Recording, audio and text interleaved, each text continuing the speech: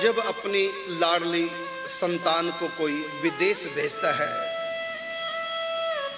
भेजता तो अपने हाथों ही तैयारी भी अपने हाथों से करता है, लेकिन माता पिता जब विदेश में अपनी संतान को भेजते हैं, गई तो कमाने के लिए, अपनी ज़िंदगी बनाने के लिए माता पिता रो पड़ते हैं। दुख होता है उनको इससे भी अधिक दुख तब होता है जब अर्थी को विदा किया जाए। जब अर्थी को विदा किया जाता है तो उससे भी अधिक दुख होता है। और अर्थी की विदाई में जितना दुख होता है, उससे भी अधिक दुख पिता को तब होता है, जब बेटी की डोली की विदाई की जाती है।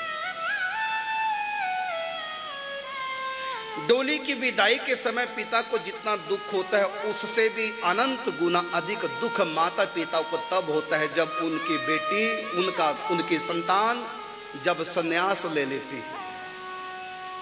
विरक्त भेष ले लेती है। माता पिता उस भेष में देख नहीं पाते। इसलिए कोई माता पिता अपनी संतान को सन्यासी नहीं बनने देता।